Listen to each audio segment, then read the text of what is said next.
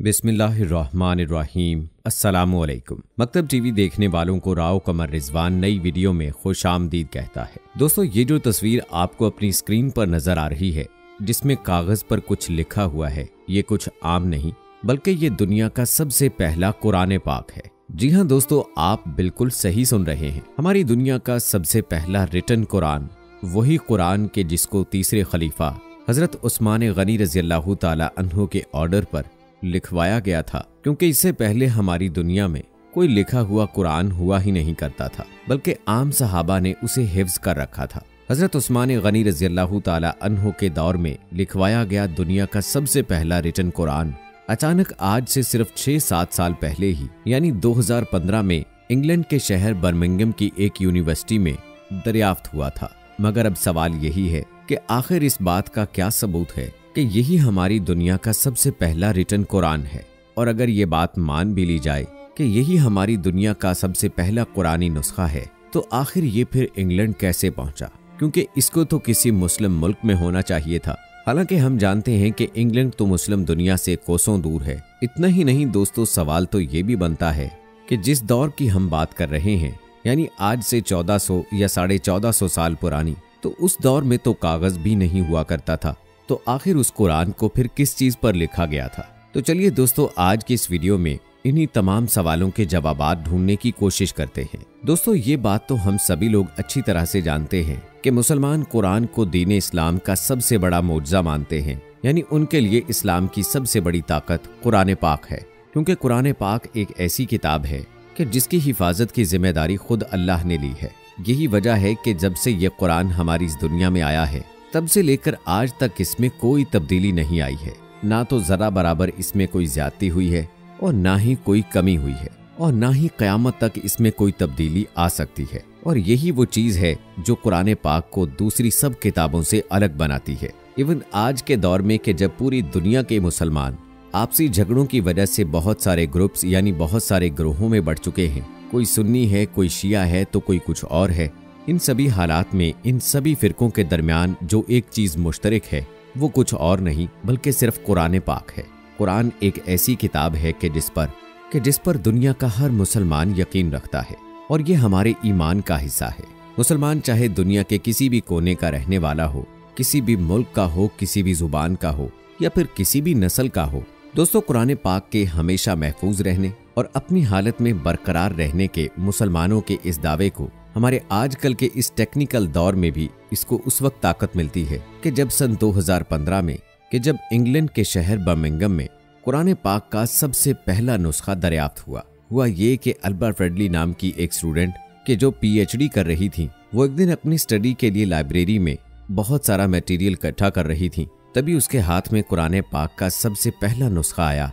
उनकी जब पहली नज़र इस नुस्खे पर पड़ी तो ज़ाहिर है अरेबिक लैंग्वेज की वजह से वो उसकी समझ में तो नहीं आया, मगर उसको छूने से उसको ये अंदाज़ा हो गया कि ये कोई मामूली चीज़ नहीं है, बल्कि कोई ऐसी चीज़ है जो हद से ज़्यादा पुरानी है और हम लोगों के काम आ सकती है। इसीलिए उन्होंने सबसे पहले अपने सीनियर को बुलाया, उनको दिखाया गया, उनको भी जब उस पर कुछ शक हुआ तो उन्होंने एक्सपर्ट्स के ज़रिए से उसे रिसर्च के लिए भेजा।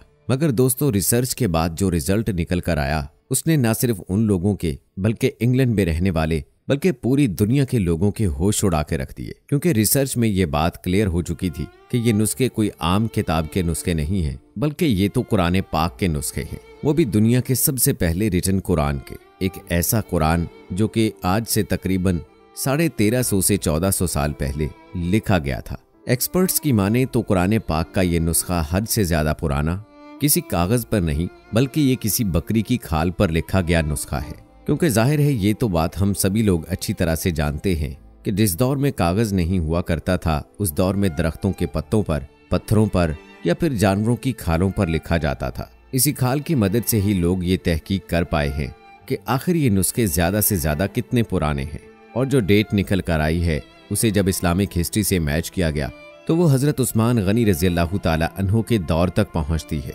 और ज़ाहिर है कि ये बात हम सभी लोग अच्छी तरह से जानते हैं कि इस्लामी तारीख में कुरान पाक को जिस हस्ती ने एक जगह पर इकट्ठा करवाया था, वो कोई और नहीं, बल्कि हज़रत अबू बकर सिद्दीक रज़ी अल्लाह तहो थे। मगर उन्होंने सिर्फ़ इकट्ठा करवाया था।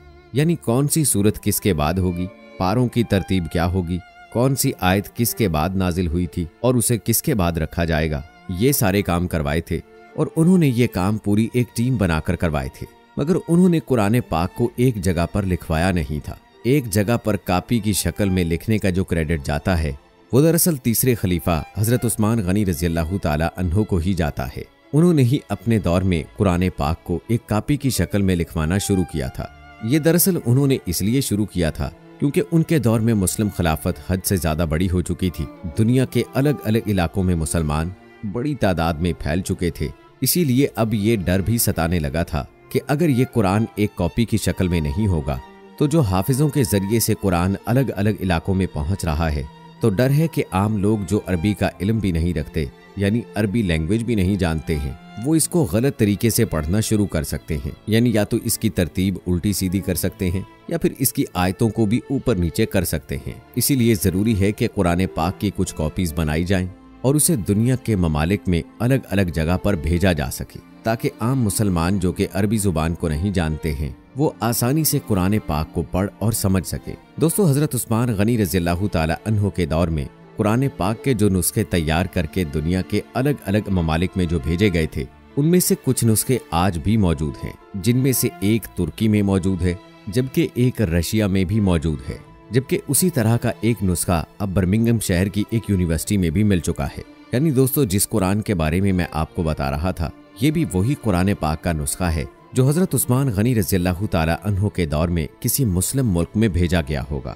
लेकिन इंटरेस्टिंग बात यह है कि ये उम्र के लिहाज से, यानी अगर इसके सालों को गिना जाए तो ये उन दोनों कुरान के नुस्खों से भी ज़्यादा पुराना है कि जो तुर्की और रशिया में मौजूद है। यानी आसान लफ्जों में इसका मतलब ये हुआ कि ये नुस्खे लिखे तो हज़रत उस्मान गनी रज़ी अल्लाह के ही दौर में हैं, मगर अगर तरतीब के हिसाब से देखा जाए तो ये इंग्लैंड वाला नुस्खा उन दोनों से भी पहले लिखा गया था।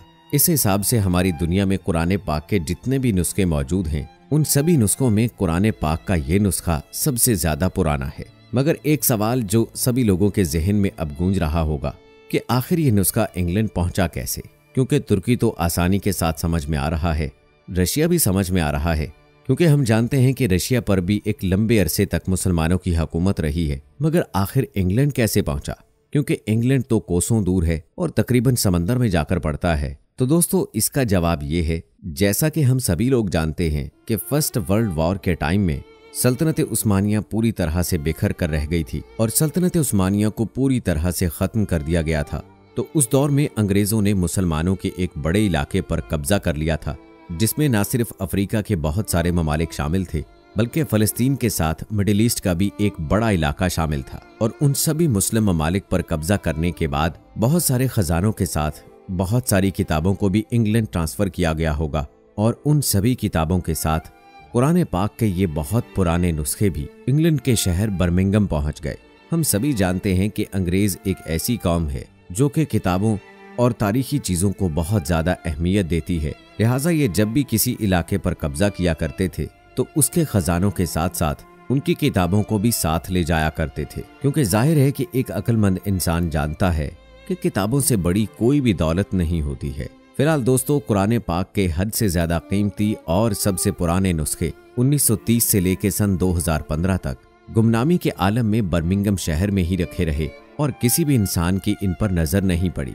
मगर फिर जैसे मैंने आपको बताया कि सन 2015 में एक स्टूडेंट के हाथों में ये आ गए थे और जब उसके हाथ में आए तो उसने पूरी दुनिया के ही होश उड़ा दिए। तो दोस्तों, कैसी लगी हमारी आज की ये वीडियो? इस हवाले से आप अपनी राय का इजहार कमेंट बॉक्स में लाजमी कीजिएगा। मिलते हैं अगली वीडियो में। तब तक के लिए अल्लाह हाफिज।